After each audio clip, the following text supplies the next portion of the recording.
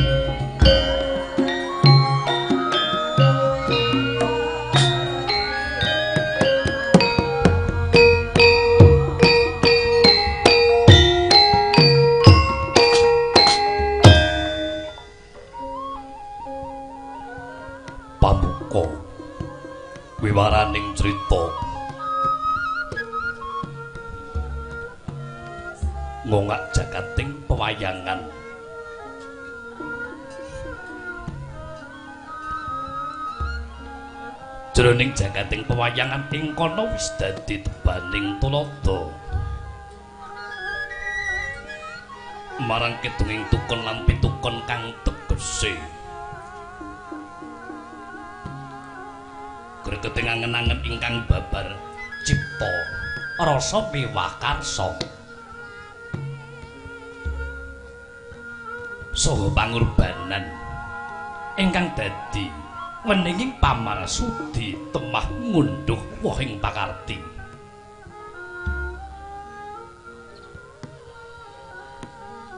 Ringgit Purwa ingkang minangka kangge pengilon uripe manungsa marmugi nambar miring mreh datan melok anggone sung sesulang karana samar-samar. Sinamuning samudana sasadoning gegem manis tur sinemu sanggit dong ingkang mawarni-warni.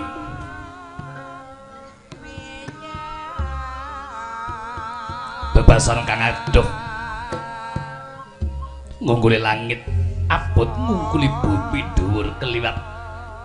Samudra jembar nglangut tanpa pagut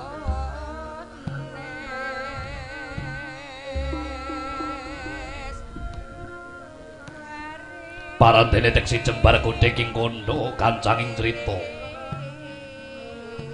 wayang purwa.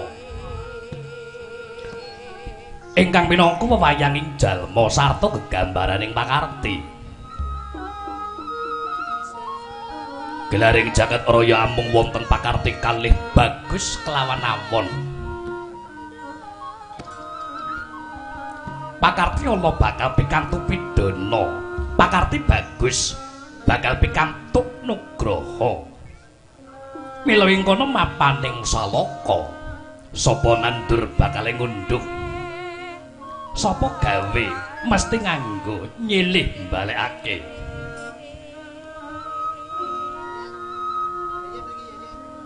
lanang wadon wis cinakup jroning gancar. Mukti lan mati. Wis minengkut jangkaning kodrat purbane sing gawe urip.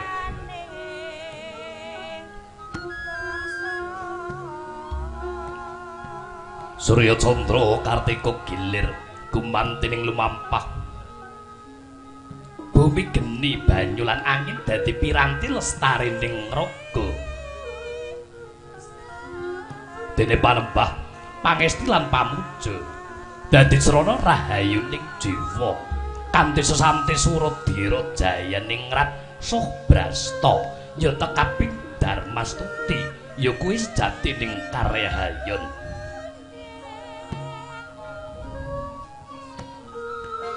ana nggih wonten pundi to menika ingkang dados pambukaning kandha mapan wonten ing pagunungan Jati Srana ya Jati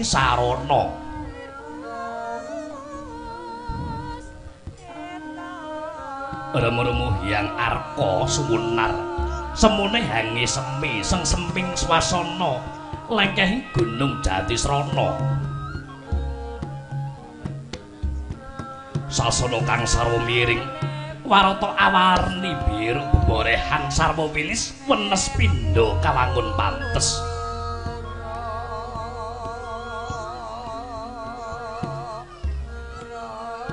jinangkepan lenggak lenggok ilining tuya. Kumaten ricik datan kuciwa wekasan anjuk ing tebih dadya grojogan dasar pasiten subur wembuh mirah tuya. Paningal kinembong ijeming gegodhongan sinelo panjreng puspita mancawarni lamun katinon saking mandrawayah babut permedani ginelar hangemuli gunung jatisrana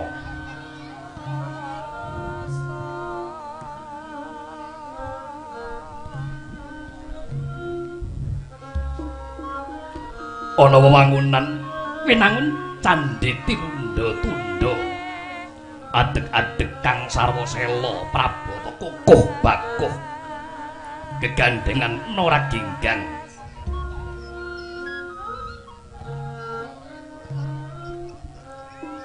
dawaning blandar wolung depa adapur nagaraja anyangga pepayon sela cendani gilar-gilar yayah siji ing Minojaladri.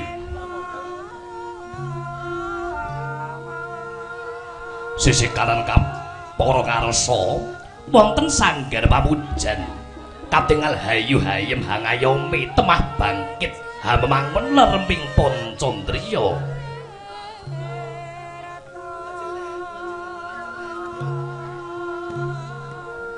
Rop tidem permanem. Tan ana sabawa ingkang kapiyarsa hambung swaraning para santri. Ingkang samya andres kitab suci. Sinarcan puji seranti raharjaning sagung dumadi.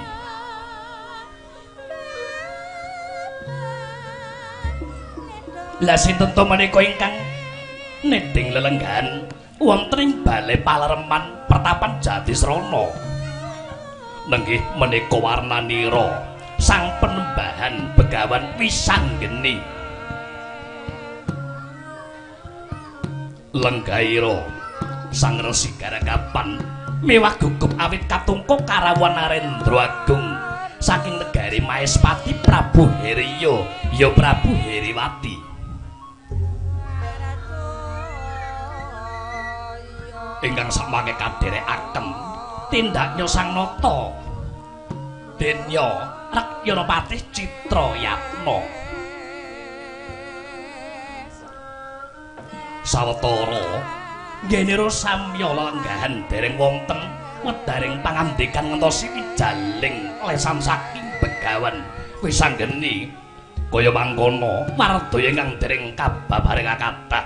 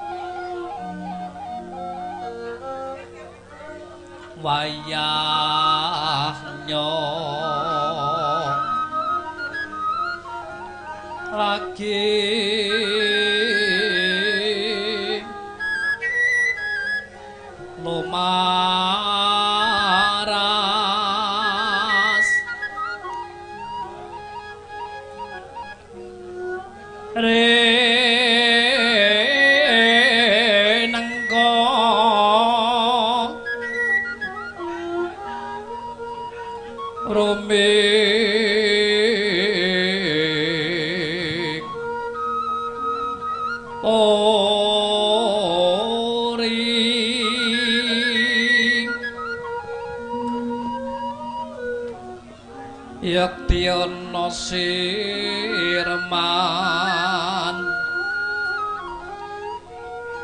do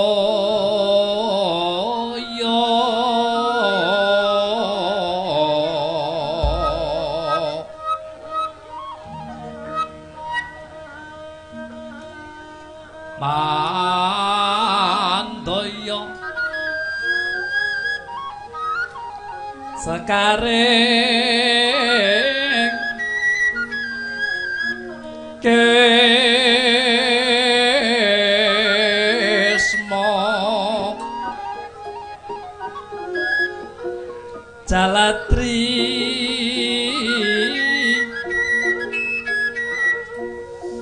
kapitaning surya.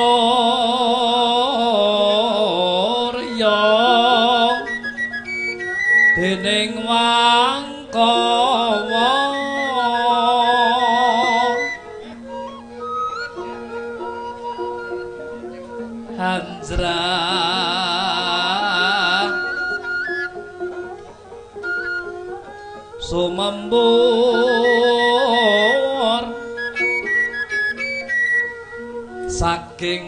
saking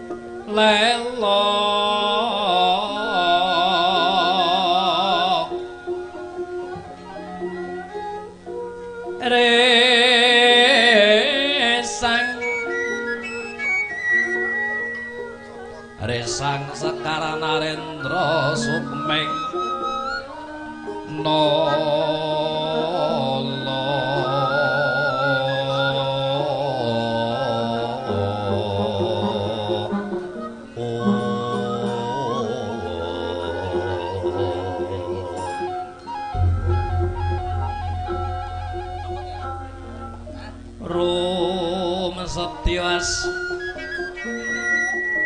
Mara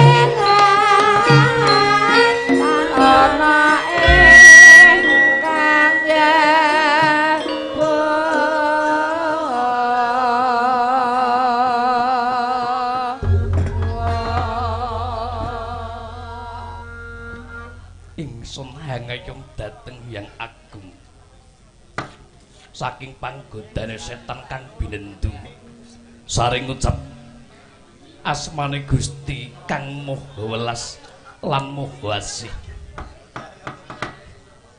Nun mangke koko prabu dereng sawetawis dangu rawuh jengandika kanjeng koko prabu hirya ing maespati. Wonten ing pertapan jati sarana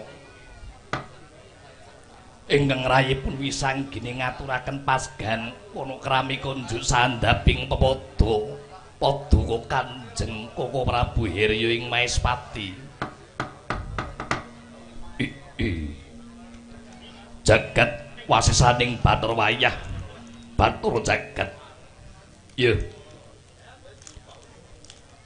Yai penemban wis ndak tompo asung pambagyo tumrapun kakang ing Maespati. Yai bisa geni. Mong pangestunipun kakang wae tanpa nono, Yai. Kula pundi nggo jejimat paripih daya ing kasantosan paringono pangestu paduka Koko Prabu. Mugi amawahono kabagian gesang kula saha sekecakaken anggenipun paduka lenggan Koko Prabu Heriyo. Yo, Yai Penemban. Kaya wis ora kurang prayoga. Praptanipun Kakang ana ing pertapan Jati Srana. Dina sakmangka, Yai. Patih Citrayatma prayogakna nggonira ngadhep ana ing pertapan Jati Srana. Patih Citrayatma kawula nukun nuning nggih penemban sampun mboten kirang prayogi angkin kula ngabiyantara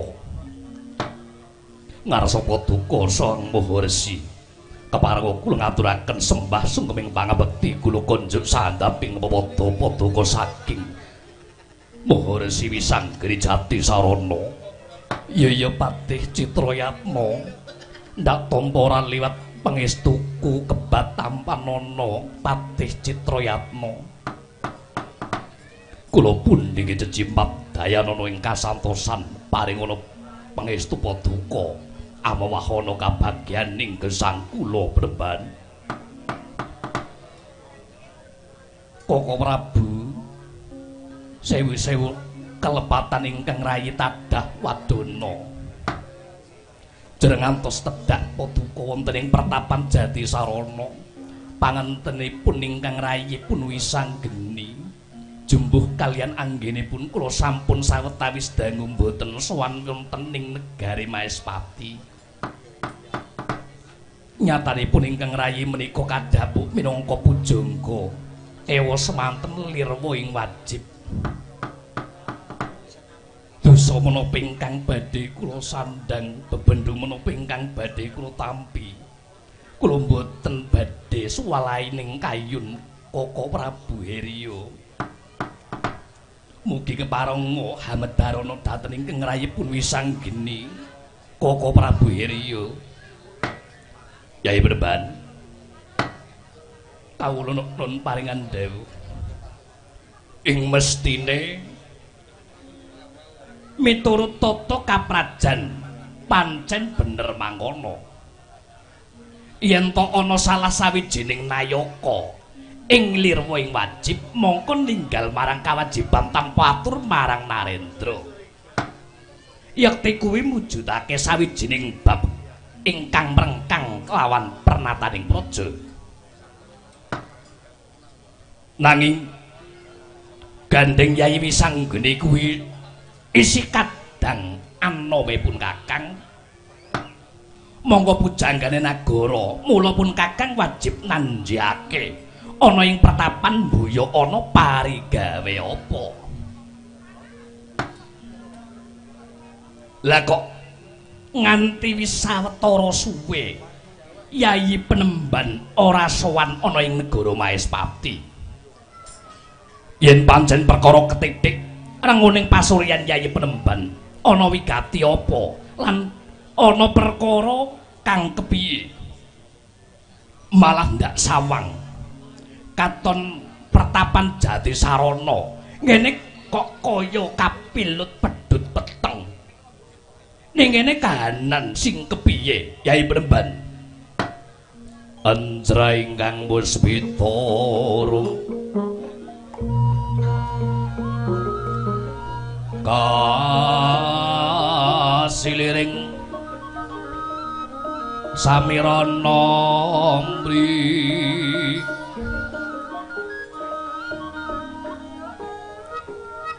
oh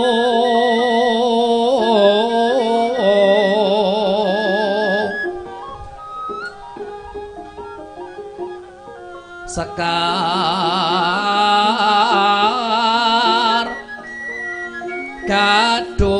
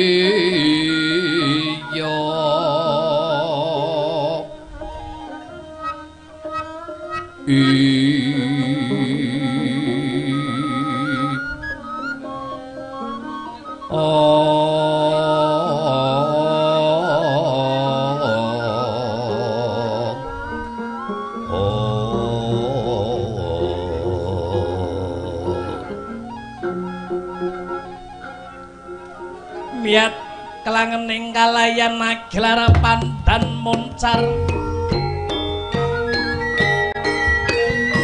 Oh.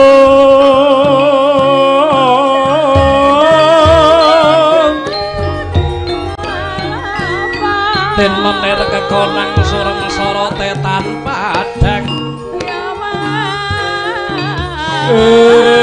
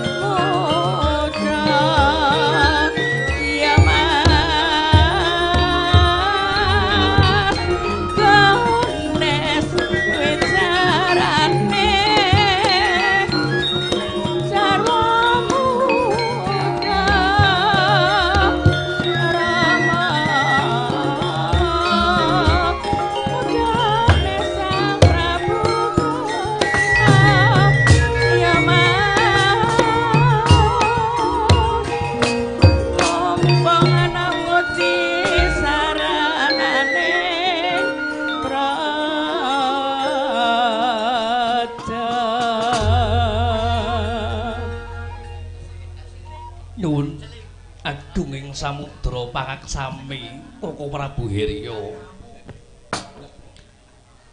Nyuwun pangapunten Anggen kula sampun sawetawis dangun boten sowan ngabiyantara wonten negara Maespati.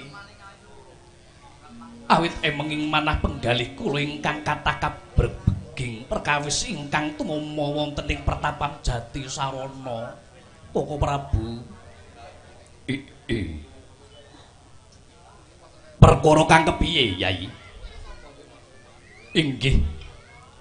wonten sawijining perkawis ingkang sakmangke palapuran saking kawula Jati Sarana ingkang sakmangke dados kebonging manah kula Koko Prabu dene kula piyambak mboten saged angadili perkawis menika jagat dewa paturya jagat ngestungkara yai yen pancen adi ora bisa ngrampungi perkara kawula pertapan jati sarana. Jring kono yayi pendhita kowe nayakaning praja pujangganing negara maespati. Kang dadi bingunging perkara kuwi perkara kang kepiye yayi koko prabu dereng sawetawis dangu wonten kawula jati sarana nyuwun pengadilan dateng pun rayi pun wiso gening. Inggih menika garwanipun ingkang laku bidang sakmalika laku bidang kados jaran bigar ingkang boten saged dipun sanjangi. Manut saking juru lakinipun menawi garwanipun menika sampun nerat saking uger-ugering pranatan. Ngrisak tatananing keluarga. Sik yai. Yen tatanan perkara kaluarga ki pancen kudu dikoceki kudu diomah-omahi dhisik. Ya pancen bener ora gampang golek ngadili perkara wong kang wis omah-omah yai. Nanging mbok menawa pun Kakang bisa madangi pepeteng marang Yayi Wisanggeni bobot perkarane kuwi sepira supaya pun Kakang bisa ambiyantu anggone Yayi Wisanggeni kuwi bakal maringi pidana marang wanita kang nerak trajang pranatan kuwi mau Yayi Wisanggeni inggih Koko Prabu? Saderengipun kula badhe taken kalian Paduka Koko Prabu Heriyo menawi wonten wanita ingkang sampun omah-omah ingkang anggat sampun anggadhahi bojo. Nanging piyambakipun wantun lambang asmara kalian tiyang sanes lambang asmara kalian priya liya hukumanipun menapa Koko Prabu Ngene. Iki pranatan negara Maespati. Sipisan mrek iki pranatan negara Maespati kang wis cinatet dadi undang-undang negara Maespati. Yen ana wong wadon lambang asmara karo wong lanang liya. Wong wadon kuwi wis rumah tangga, wong wadon kuwi omah-omah. Kalaman konangan sak jeroning sentong nanging durung kelakone apa-apa. Kuwi diukum pecut kaping telung puluh. Kuwi durung lakone apa-apa. Nembe mlebu sentong. Ngaten Koko Prabu. Ya.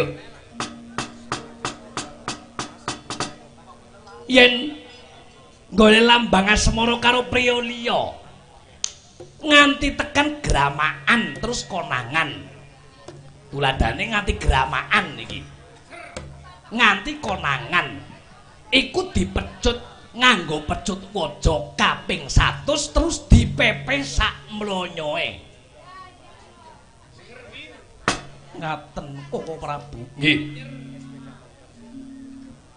Lajeng wonten mali ana. Yen ana wong wadon kang lambang asmara karo wong lanang liya dheweke wis duwe bojo nganti tekan nglakokake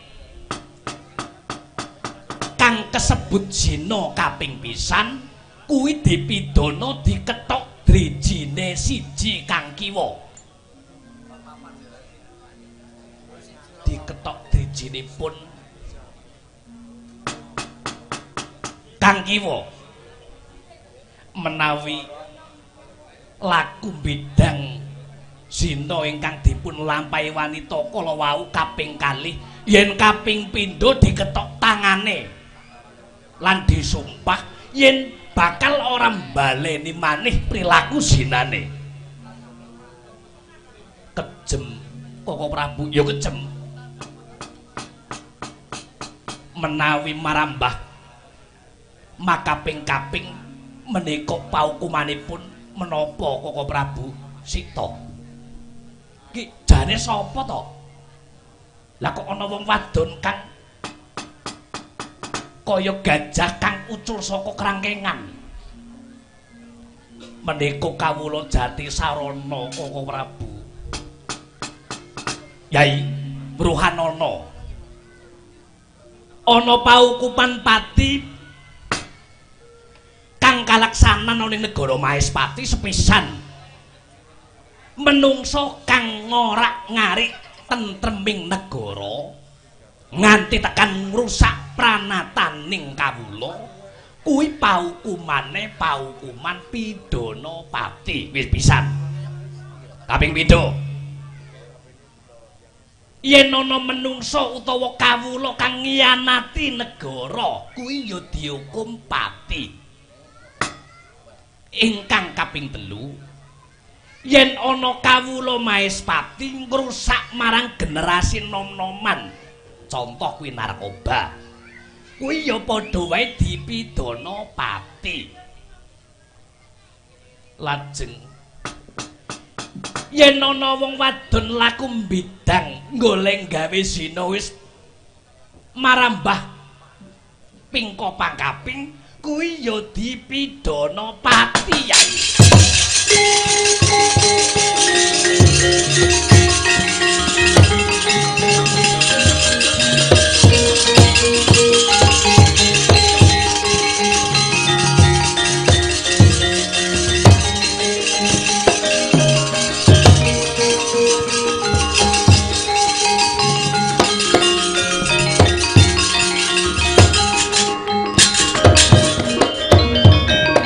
kagiat resang kapirangu renangkul ki nembit kempit.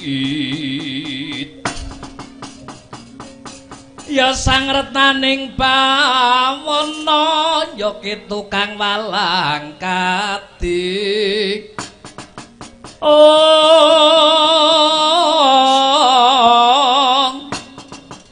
Ya ki tukang ngenesing tias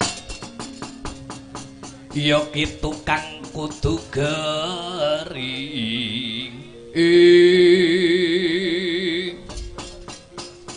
paukumanipun pidana pati paukumane pidana pati nanging kabeh mau kudu diomah-omahi dhisik kudu dionceki dhisik. Ora gegabah anggone maringi pidana pati marang wong wadon kuwi sabab perkara anane wong wadon laku bidang kuwi jalarane ya biasane sing lanang. Kuwi jalarane. Tuladanipun siji wong wadon sering ditinggal lunga ning sing lanang. Saben wengi ditinggal lunga. Ora tau dikeloni. Kuwi sabab pisan. Sabab kang kaping pindho. Kuwi ora marem. Kromongso ora marem golek perkoso kaya godhek wong simbar jojo bareng turu bareng mung semenit rampung. Kuwi ya merakake wong wadon kuwi kurang anggone diparingi pengaren dening sing lanang ana meneh sing males ya ana. Nggonku ya ana sing males. Males karo sing lanang lara ngati banjur males. Kuwi ya ana. Dadi kabeh kuwi kudu diomah-omahi dhisik aja ngasi kesusu anggone si adi maringi pidana pati marang wong wadon. Kuwi Yai. Ngaten Koko Prabu. Nah, Yai. Banjur sejatine wong wadon kuwi sapa? Yen to pancen kudu dipidana pati mumpung si kakun kakang ana ing pertapan Jati Sarana mengko aku bakal ngewang-ewang marang kowe Yayi Wisogeni. Mboten patrap menawi kula badhe amedhar sinten estri kala wayung kang laku bidang Koko Prabu. Kula nyumanggaaken paduka mlebet wonten ing sanggar palenggatan sanggar pamujan kalian pun rayi kula pun wisanggeni. Catur netra kemawon Koko Prabu. Yo, yen pancen karepmu kaya ngono, Ayo bebarengan mlebu marang sanggar pamujan. Pati Citrayatna kawula nuwun dawuh, kowe ngenteni ning jaba ya Pati. Inggih ngesturaken dawuh. Sinuwun.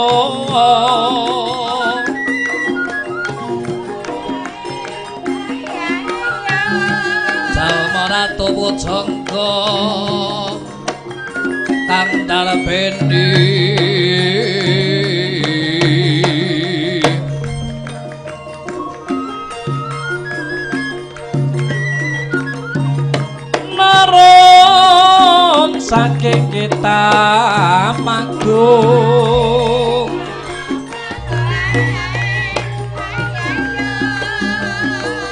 sanes saking negeri moncong doe kina.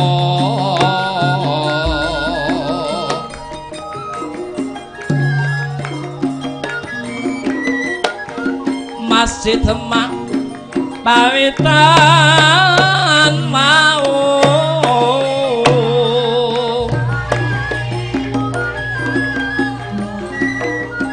Wali songo kang ngangge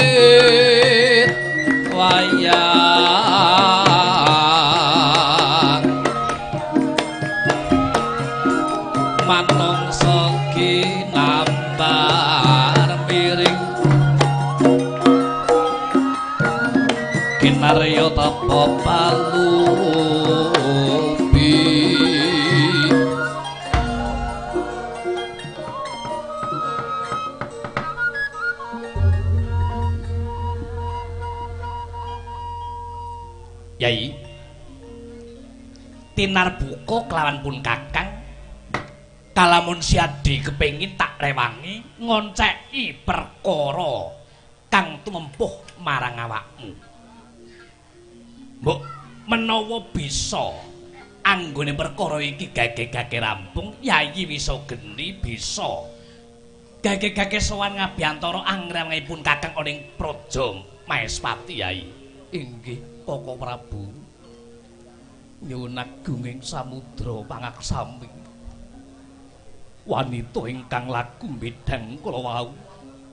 Mboten kejawi sanes. Garwa kula piyambak arep nuka Koko Prabu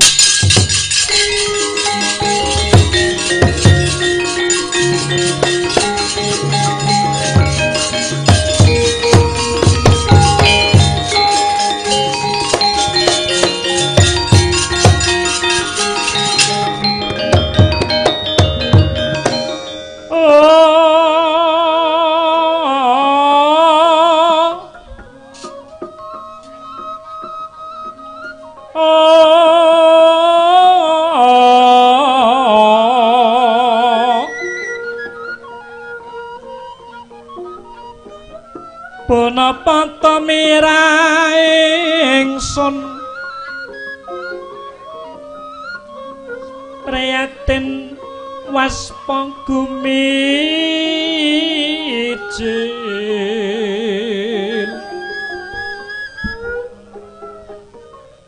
Oh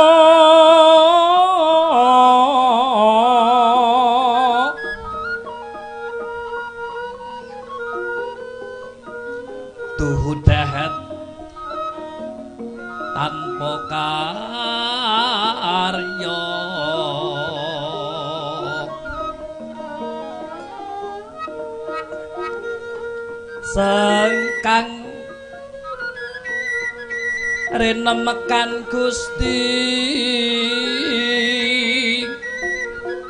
Gelung rena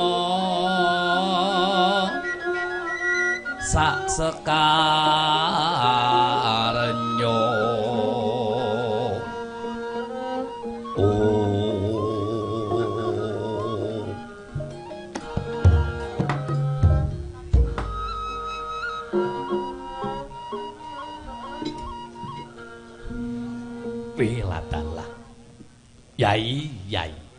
Lelakanmu kok kaya ngene?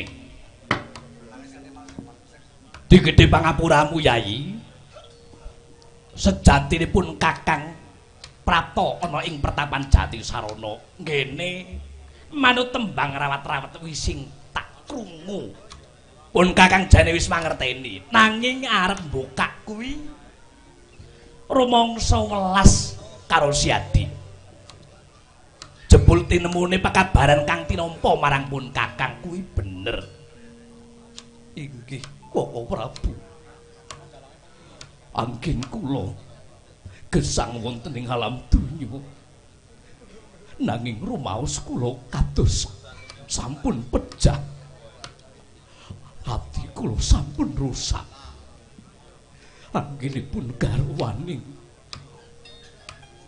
Pendeta lakunipun bidang koko prabu. Yai iki. Ngene. Sejatine anane perkara kang tumumpuh marang awakmu yen tak onceki janjane ya ora mung retnuka sing luput. Nanging siadi uga kleru kula kleru kados pundi Koko Prabu? Ngene. Bareng yayi omah-omah.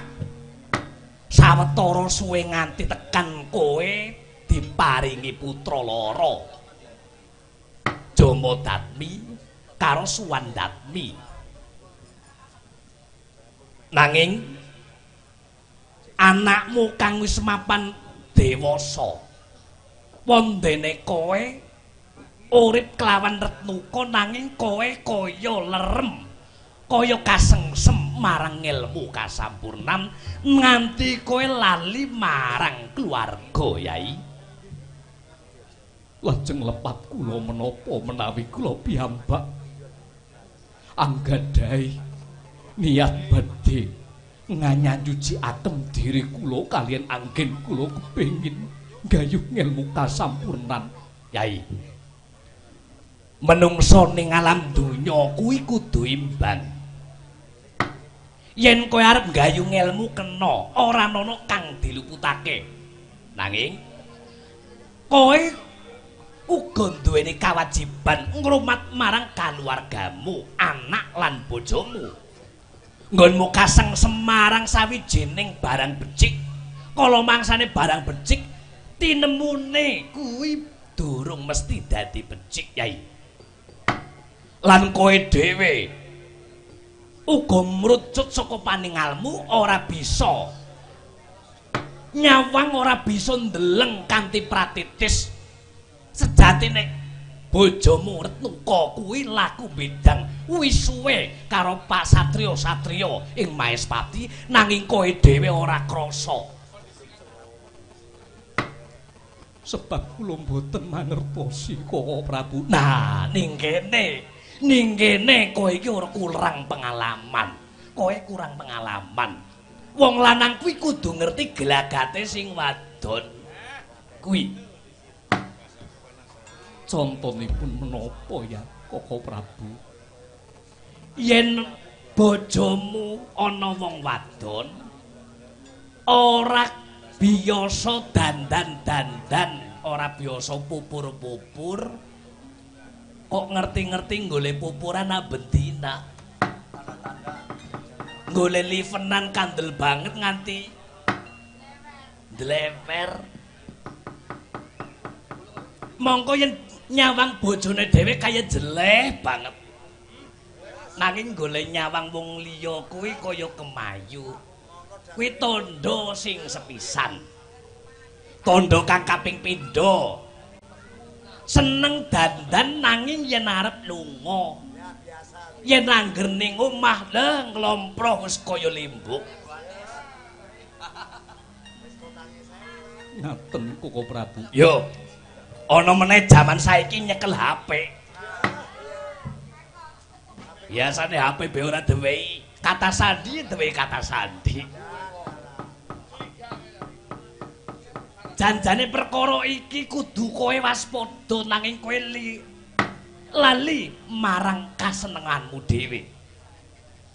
Lajeng perkawis garwa kula pun retnuka kados pundhanganipun laku bidang kalian priya liya sampun makaping-kaping Koko Prabu. Yai. Pranatan Praja Maespati pancen kepara kudu dilakoni karo sapa wae kawulane. Sabab yen paukuman tatanan Praja Maespati mung kanggo sentana, mung kanggo kawula cilik. Angklik-angklik kere yen dihukum, yen duweni kaluputan langsung gage-gage dihukum. nanging wong kang duweni jabatan kaya-kaya ora ana kanggo gawe iki aku dianggep apa nanging Yayi Wisanggeni kuwi si kadang tarunane pun kakang Mula, Yai. Pun Kakang manut karo kowe yen kepengin kowe bali marang bojomu bali yo, bali yo. Mboten saged. Kula sampun kados pecah ati kula kalian Retnuko. Menapa malih menawi kula boten maringi pidana kalian garwa kula. Kados pundi mangke sorak mawur kawula praja Maespati. Tetel kawibawan karaneran karanendranipun Patuko. Oh, Prabu.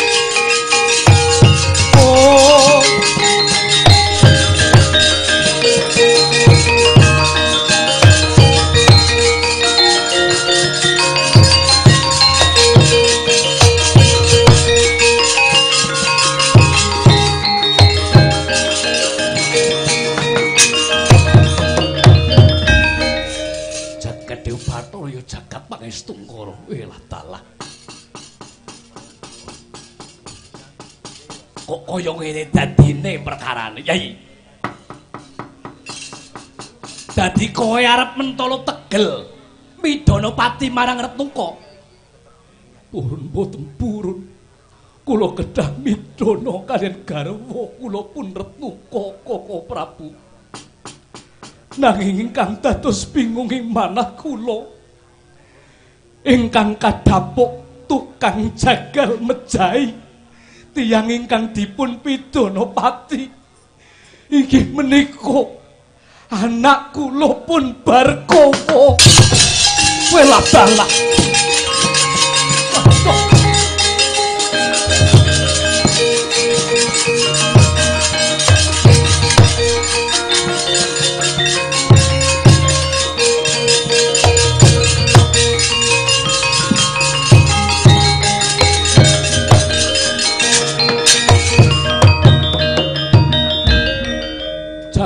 Dewa Bathara ya jagat pangestungkara. Welah dalah. Yai, dipikir, dipikir Yai. Apa ya pancen arep kelakon Bargawa mateni ibuke dhewe, dipikir. Baliya marang bojomu Retnuka ya Yai. Apuranen, apuranen mboten saged Koko Prabu. Kula mboten saged. Kula anggenipun dipun dapuk dados nayakaning praja. Bini sepuh negari Naespati nanging kula piyambak mboten adil anggenipun marang pranatan praja. Apa ya kowe tegel marang Bargawa? Anggone Bargawa bakal midana pati marang ibuke dhewe. Kula mboten purun, kula mboten purun.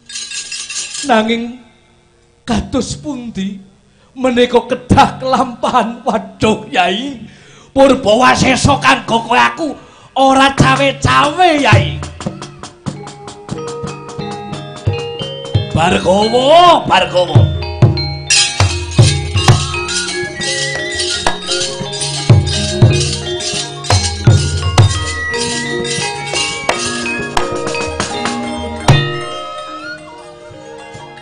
Welah dalah, Bargawa, Bargawa.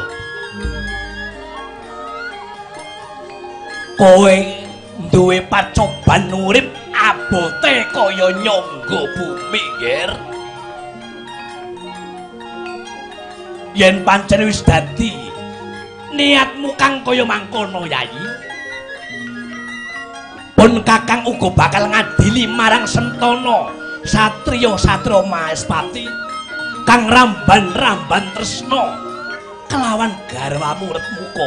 Wis pun Kakang nyuwun pamit. Sing adil nggon mung ngadili bojomu.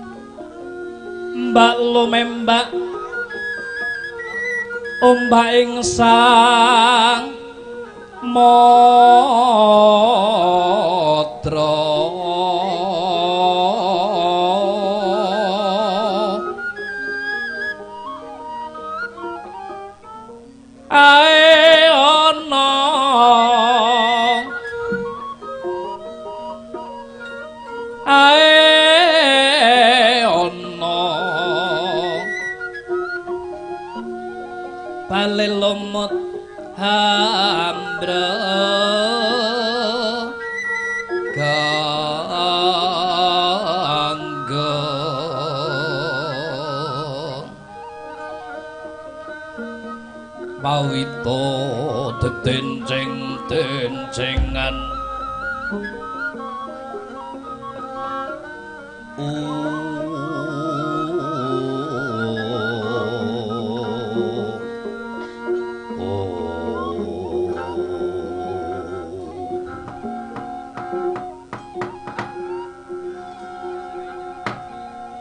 anakku lanang bocah mursid. Muga menungsa kang pinunjul bejo donya lan akhirate ora mung kandhek ana ing pangucap dadi ana kasunyatan. Weladalah bargawa. Apa paneban.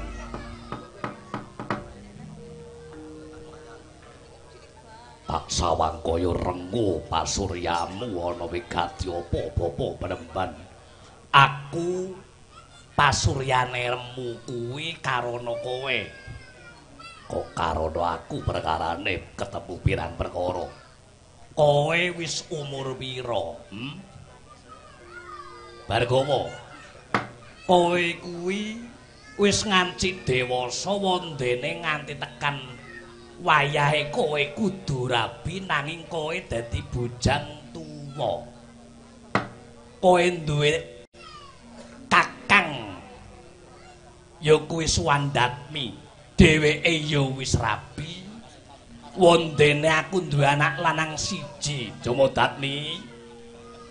Kapan lekmu rabi, Nggir?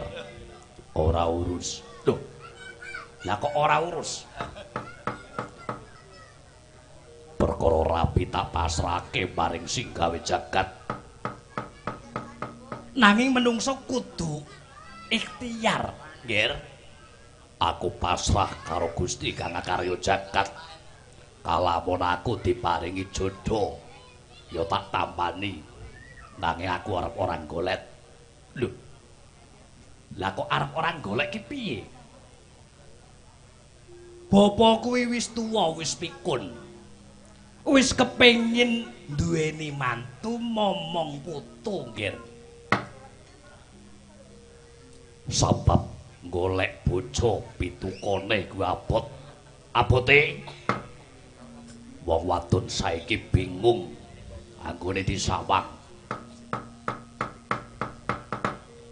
Sandangane sing bener karo sing ora padha wae.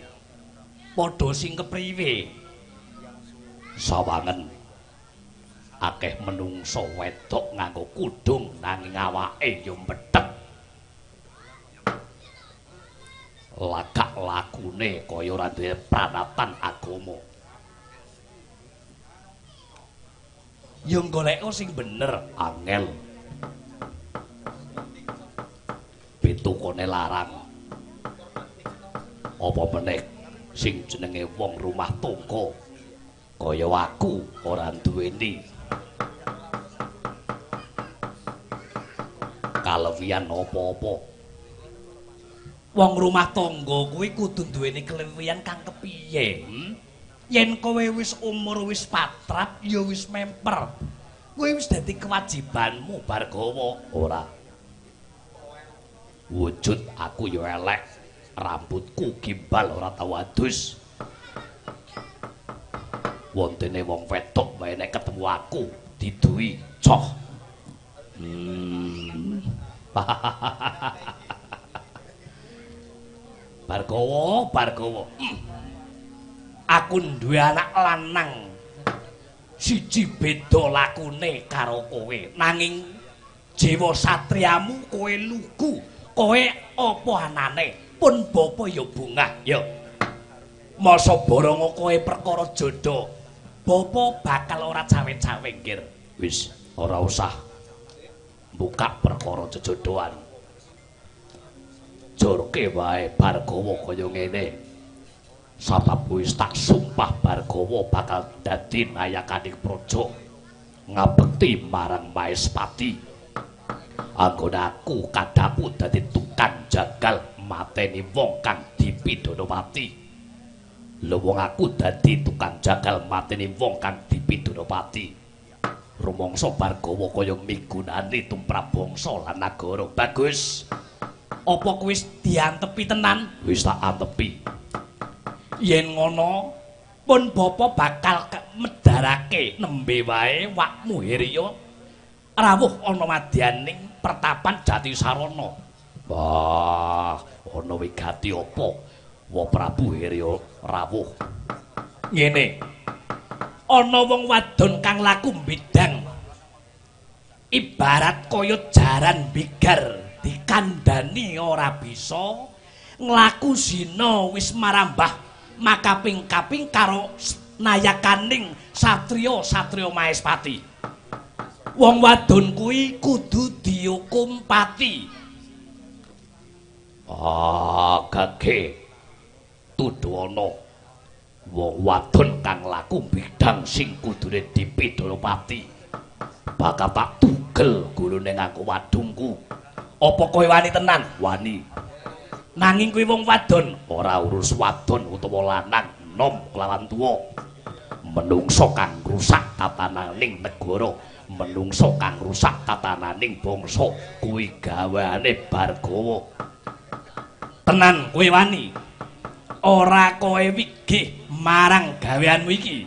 Ora tuduhana menungsane supaya gage tak pidana mati. Ya yen pancen wis dadi sumpah prasetyamu kaya ngono kowe wis wani bakal midana pati marang wong wadon kuwi. Bargawa rungokno. Wong wadon kang dihukum pati kuwi ora kejaba liya ibumu Retuka Bargawa.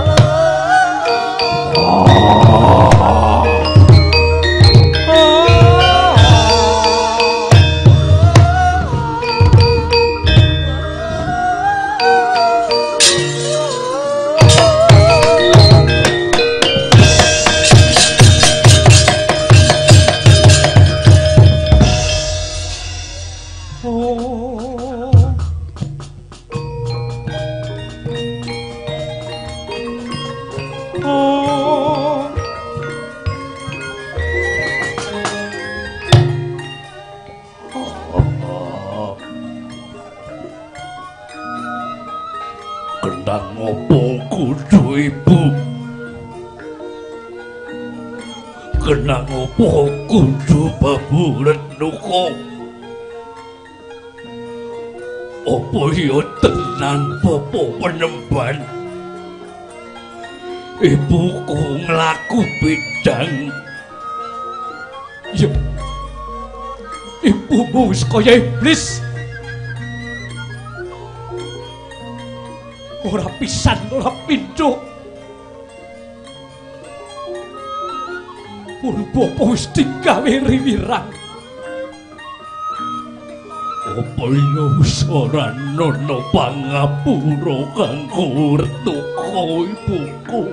Ora nono, ora nono. Ora nono pangapura kanggo ibumu. Wah, ibu. Aku kelingan yen aku biyen dikepol. Sangang wulan. Aku kok dendong. Aku digudang. Aku di rumah Lako jebul aku kudu mateni babu kopopo. Mbok yo dipangapura popo. Ora, ora. Aku wis ora bisa mangapura ibumu. Aku wis ora bisa mangapura ibumu. Lakumu ibumu wis kaya iblis. Ora patut jejejeran karo pegawan Wisokeni. Ibumu wis dadi mala ana ning jagat Pargawa. Wah, Pargawa. Dieling-eling sumpahmu mau. Yen kowe arep mblenjani janji tetel kasatrianmu Barkawa. Yai